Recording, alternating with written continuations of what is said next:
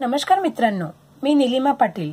आज आपण विज्ञान आणि तंत्रज्ञान इयत्ता दहावी भाग दोन मधील पहिला पाठ आनुवंशिकता व उत्क्रांती यातील पुढील भाग पाहणार आहोत. तर आपण आज पाहूया प्रतिलेखन भाषांतरण व स्थानांतरण म्हणजेच transcription translation and translocation DNA मध्ये असलेली जनुके आरएनएच्या मदतीने पेशीच्या कामकाजांमध्ये भाग घेतात. तसेच शरीराच्या रचना व कार्य यावर ते नियंत्रण ठेवतात. जनुकांमध्ये प्रथिनांच्या निर्मितीविषयक माहिती साठवलेली असते व योग्य प्रथिनांची वेळोवेळी होणारी निर्मिती शरीराकरता आवश्यक असते. या प्रथिनांची निर्मिती डीएनए मुळे आरएनएच्या माध्यमातून होते. आणि यालाच सेंट्रल डोगमा असे म्हटले आहे. डीएनए वरील जनुकांच्या साखळीनुसार एम आर एन एची निर्मिती होते.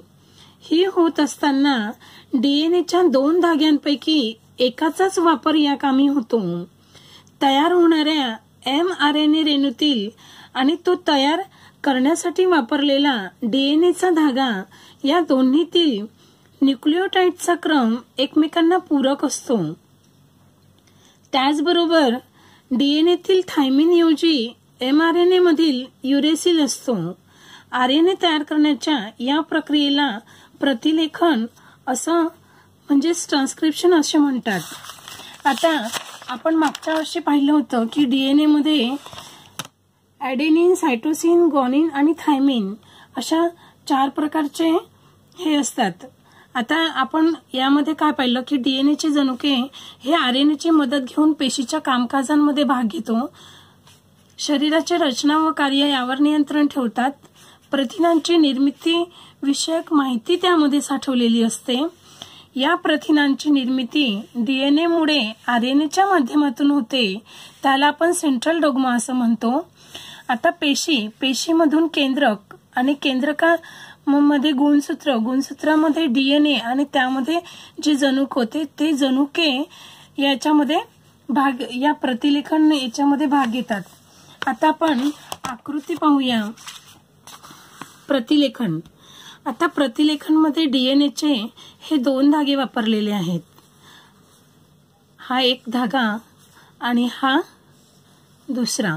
या दोन धाग्यांपैकी फक्त एकाच धाग्याचा वापर आपण या ठिकाणी या प्रोसे प्रोसेसमध्ये करणार आहोत. आणि एम आर एन ए या दोन याची प्रक्रिया या ठिकाणी होते.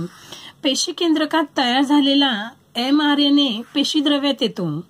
पेशी केंद्रकामध्ये जो तयार झालेला एम आर एन ए असतो तो पेशी द्रव्यामध्ये येतो. तो येताना डीएनए वरील सांकेतिक संदेश घेऊन येतो. डीएनए वर जे सांकेतिक संदेश असतात ते तो घेऊन येतो. या संदेशामध्ये अमिनो आम्लाकरता संकेत असतात.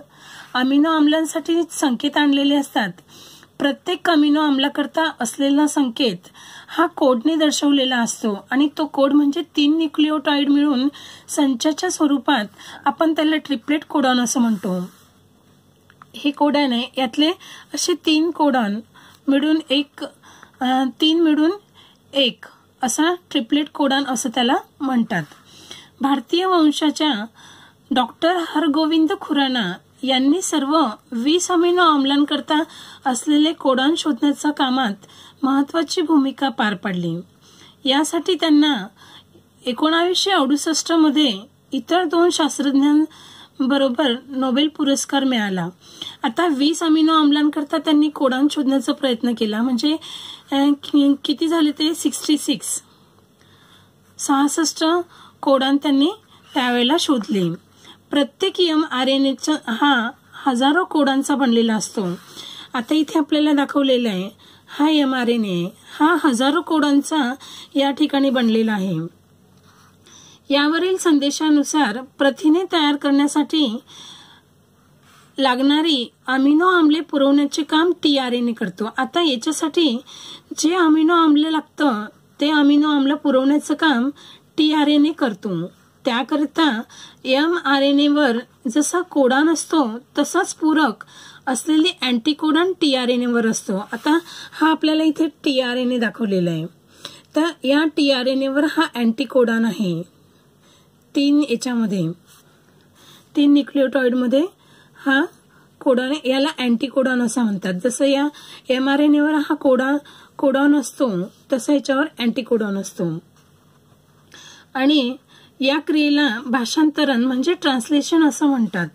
टी आर एन ने आणलेल्या अमिनो आम्लाची पेप्टाईन बंधाने शृंखला तयार करण्याचे काम आर आर एन ए करतो. आणि त्याने जे अमिनो आम्ल आणलं टी आर एन ए त्या आम्लामध्ये पेप्टाईट या बंधाने शृंखला म्हणजे साखळी तयार करण्याचं जे काम असतं तो आर एन ए करतो. आर आर एन ए करतो. या दरम्यान रायबोझोम एम आर एन एच्या एका टोकाकडून दुसऱ्या टोकाकडे एक एक ट्रिपलेट कोडांच्या अंतराने सरकत जातो.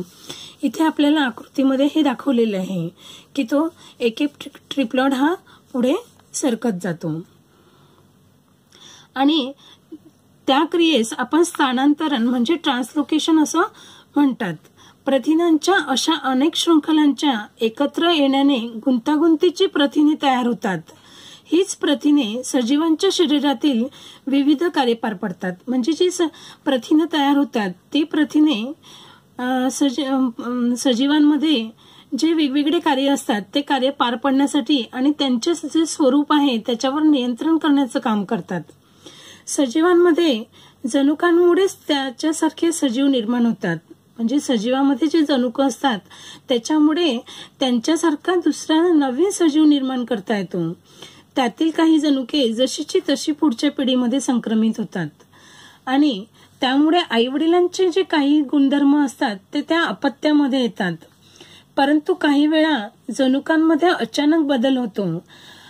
जसं जनुकातील एखादे न्यूक्लिओटाईड अचानक आपली जागा बदलतं.